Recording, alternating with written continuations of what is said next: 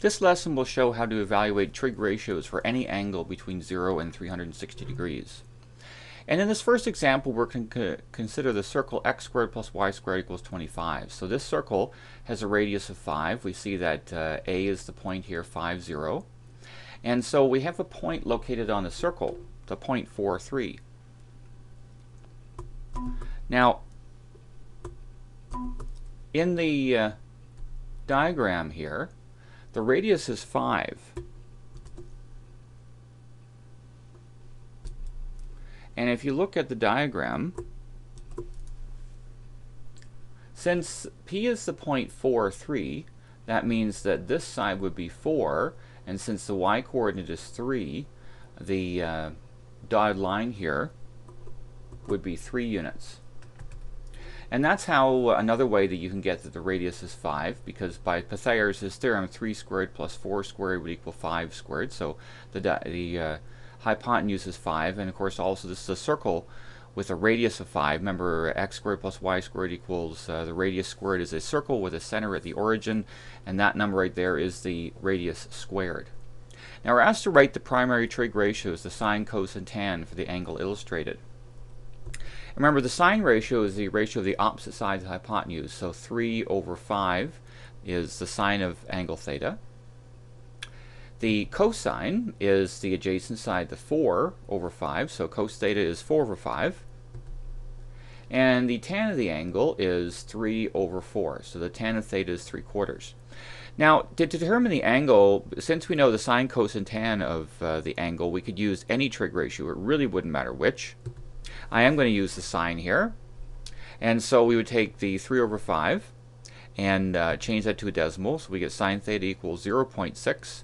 Now to find the angle theta, make sure your calculator is in degree mode, and then you would take the inverse sine. So theta is the inverse sine. Remember, this is the uh, function, what it looks like here, of 0.6, which tells us that that angle should be about 37 degrees.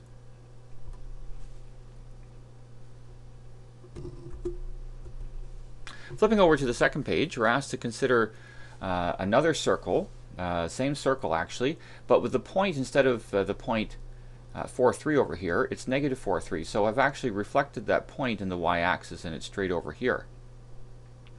Now, the radius is still 5 units. And we could find again the radius if we wanted to. Now, this side right here on the diagram would be 4 units. And actually, we would think of that as negative 4 because you actually go 4 to the left from the origin. And then up 3.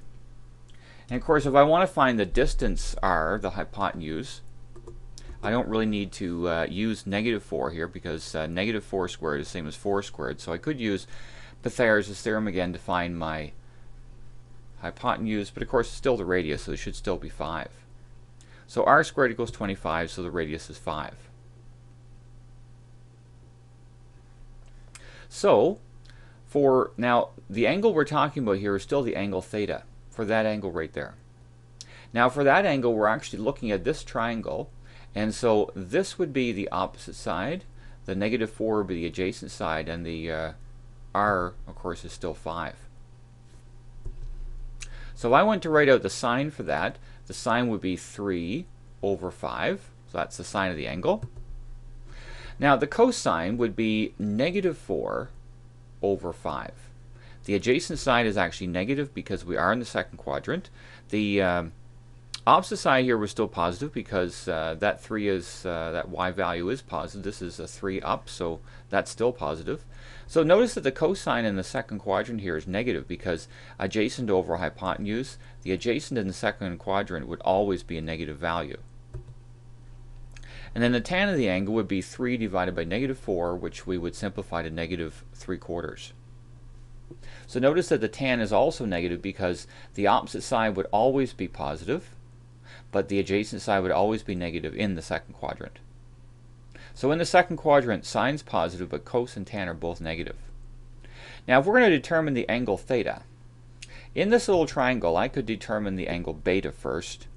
Beta is this angle right here that the uh, hypotenuse makes with the uh, negative x-axis. And so I could use sine theta equals 3 fifths, Uh, again, change the 3 fifths to a decimal and take the inverse sine.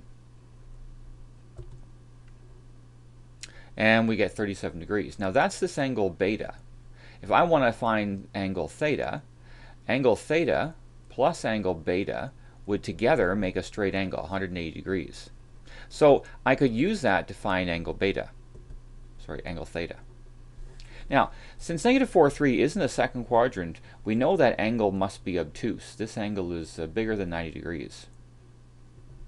So in order to find the angle, we would go 180 minus the beta, which is the 37. And so angle theta is 143 degrees. So that's that angle right there. It's over in the second quadrant. Now, if we had used the cosine to find that angle in the second quadrant, it actually would have told us directly it was 143 degrees. It wouldn't have first told it was 37 because the uh, since the since the uh, cosine is negative over here in the second quadrant, uh, that would actually return us with the correct angle right away.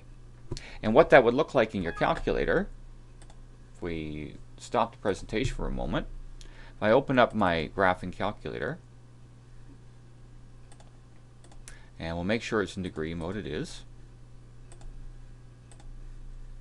So I'm using this cosine. Cosine is negative 4 fifths.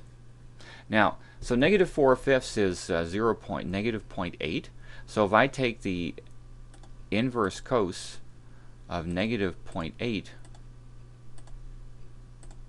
the calculator does tell me right away that it's 143 degrees so if you're in the second quadrant uh, to find an angle, the best uh, trig ratio to use is the cosine. The sine, if you know the sine of the angle, what you have to do is uh, use the sine function and then subtract from 180 degrees.